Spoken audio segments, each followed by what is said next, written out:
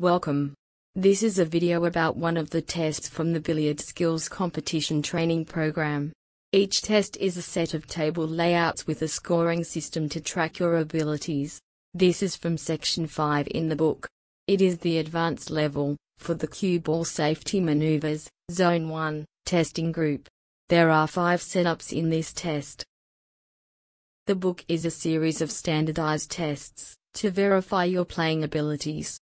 These tests help identify your strong and weak playing skills.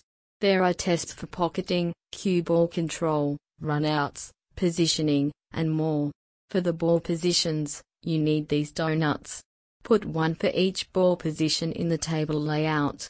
You can then set up the exact same situation every time. As a set of practice problems, work on these shots until they become routine. Each set of tests will improve your competitive skills. Here are the rules to take this test. 1. Set up the donuts for the cue ball and object ball. Place donut markers for the target zone. 2. Shoot the cue ball off the object ball to stop in the target zone. 3. Shoot 5 times for each of the 5 layout, a total of 25 shots. 4.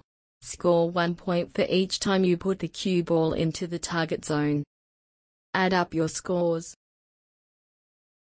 This is test layout 1. You will play 5 shots. This is the first of the 5 layouts. There are several ways to get the cue ball into the target zone.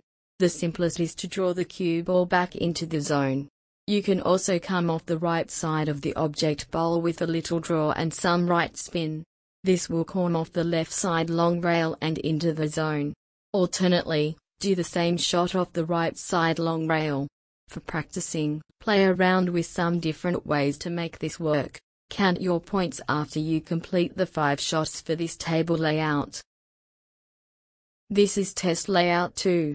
You will play 5 shots. This is the second of 5 layouts. There are several ways to make this work. You can slide the cue ball slightly off the right side of the object ball and draw the shot into the zone. You can also run the cue ball off the left side long rail. Just for the experience, send the cue ball up table and see how close you can get. Count your points after you complete the 5 shots for this table layout. This is test layout 3, for 5 shots. On this setup, you can put some follow on the cue ball path to roll it into the target zone. Another way is to come off the left side long rail. You can also bring the cue ball off the short rail. For the fun of it, send the cue ball up table in and around the whirl pattern and try to get the cue ball to roll onto the zone. Count your points after you complete the 5 shots for this table layout. This is test layout 4, for 5 shots. A simple follow shot is all you need to get into the target zone. Or, instead of the direct roll, you can also go into the short rail to make the shot work. Alternately, follow over the top of the object ball to corn off the left side long rail. You can also try the zigzag cross side as an option. Count your points after you complete the 5 shots for this table layout.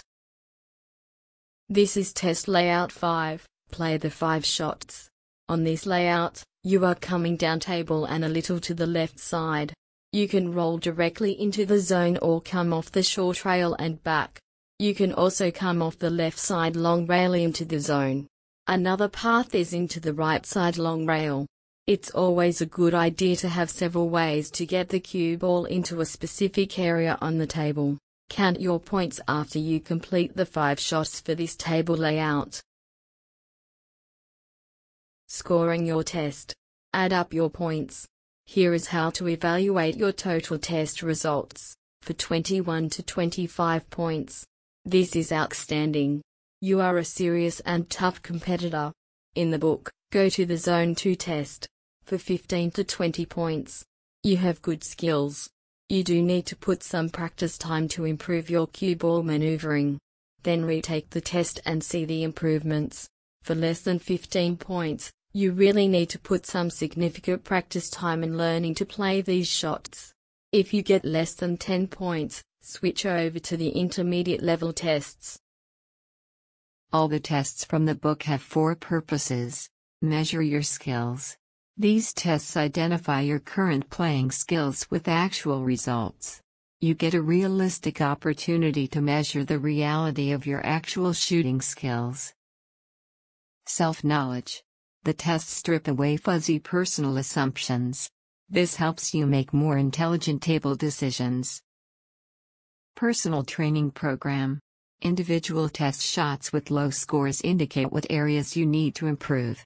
Repeated self testing demonstrates the success of your practice results.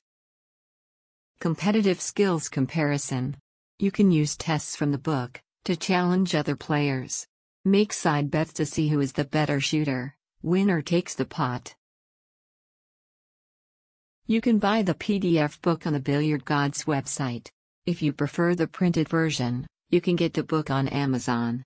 Please note, the PDF format can be viewed on your smartphone, tablet, and computer.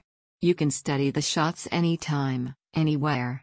The author has also written these books. The Billiard Gods blog has posts that include excerpts from each of these books. Good luck. Have fun, and shoot straight.